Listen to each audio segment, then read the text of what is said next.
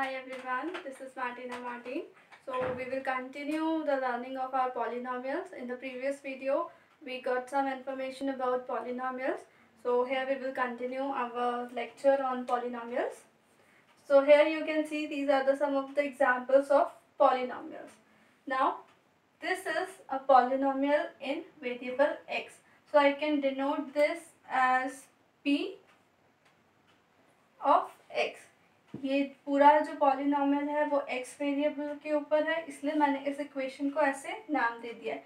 Similarly मैं इस equation को भी क्यू बाई एक्स बोल सकती हूँ। R of Y S of U and so on ना तो इस तरह से हम कोई भी पॉलिनॉमियल इक्वेशन को ऐसे नेमिंग दे सकते हैं।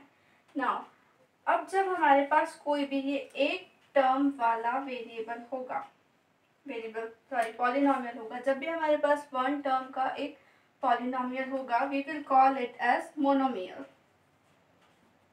monomial mono means one यहाँ पर हमारे पास सिंगल टर्म है, सिर्फ़ एक फाइव और एक वेरिएबल है एक्स तो ये वाले, जब भी हमारे पास कोई भी सिंगल टर्म का पॉलिनॉमियल होगा, उसको हम बोलेंगे मोनोमियल सिमिलरली जब यहाँ दो टर्म्स हमारे पास आ जाएँगी, जैसे एक्स क्यूब माइनस वन यहाँ एक टर्म है एक्स क्यूब दूसरी टर्म है माइनस वन यहाँ दो टर्म्स हैं तो ये वाला कहलाएगा binomial because we are having two terms bi means two so binomials now when we talk about these three terms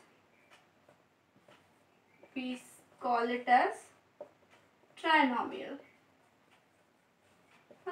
so these are the naming of uh, polynomials now when we talk about the degree of polynomials what is degree of polynomial किसी भी एक polynomial की degree क्या होती है तो इस equation में जब आप ये वाले पॉलिनॉमियल को देखोगे तो इसकी डिग्री क्या होगी वेरिएबल के ऊपर जो भी हाईएस्ट पावर होगा वो इस पॉलिनॉमियल की डिग्री कहलाएगी तो यहाँ पर ये एक्स वेरिएबल का पॉलिनॉमियल है तो यहाँ पर देखेंगे तो x की power zero this is one और ये टू तो हाईएस्ट डिग्री हाईएस्ट पावर है यहाँ पर x की टू तो इस पॉलिनॉमियल की डिग्री हो जाएगी टू सिमिलरली इसमें देखेंगे तो यहाँ पर ये किस डिग्री का पॉलिनॉमियल कहलाएगा?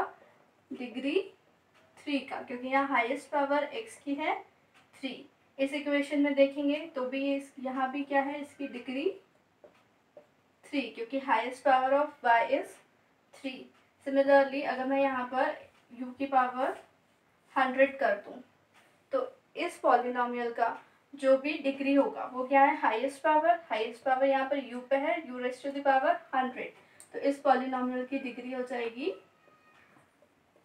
hundred so this is all about the degree अब अगर आपके पास कभी ऐसी वाली इक्वेशन आए या ऐसा वाला आपको कोई इक्वेशन दे, जहाँ पर x plus one upon x हो। और पूछा जाए, क्या ये एक पॉलिनॉमियल है? तो सबसे पहले तो आप देखेंगे कि x प्लस अब इस वन बाय एक्स को, जब ये यहाँ डिनोमिनेटर फॉर्म में रहता है, हम इसको जब ऊपर ले जाते हैं तो ये पावर में माइनस वन हो जाता है means x raise to the power minus one so is this a polynomial क्या ये एक पॉलिनॉमियल है? So your answer should be no ये एक पॉलिनोमियल नहीं है। क्यों नहीं है? क्योंकि यहाँ जो पावर है, वो एक होल नंबर में नहीं है। तो पॉलिनॉमियल होने के लिए हमेशा एक कंडीशन सेटिस्फाई होना ज़रूरी है कि जब भी कोई भी पावर की हम बात कर रहे हैं वेरिएबल की पावर की तो वो वेरिएबल हमेशा, का पावर हमेशा एक होल नंबर होना चाहिए।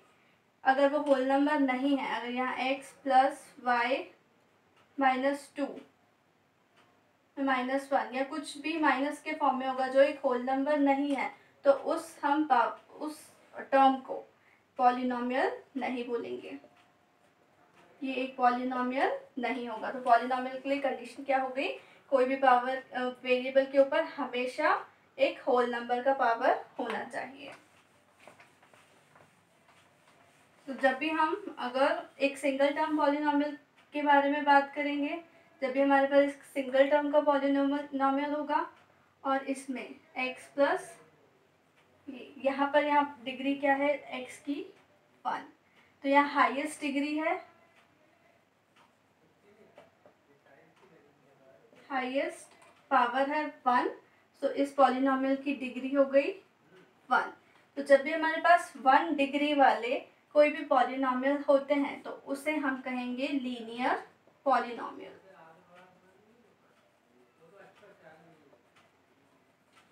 जब हमारे पास कोई भी पॉलिनोमियल है जिसकी डिग्री टू है।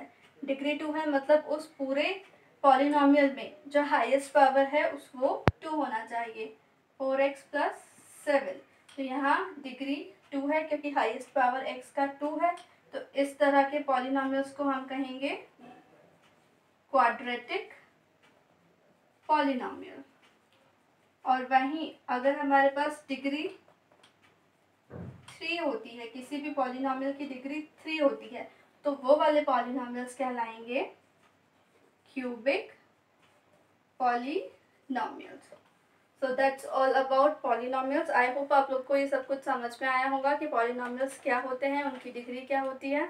और अगर आपको कुछ भी डाउट हो तो आप मुझे कमेंट सेक्शन में बता सकते हैं पूछ सकते हैं मुझसे डाउट और मेरे वीडियो को प्लीज़ लाइक एंड शेयर करिए। Thank you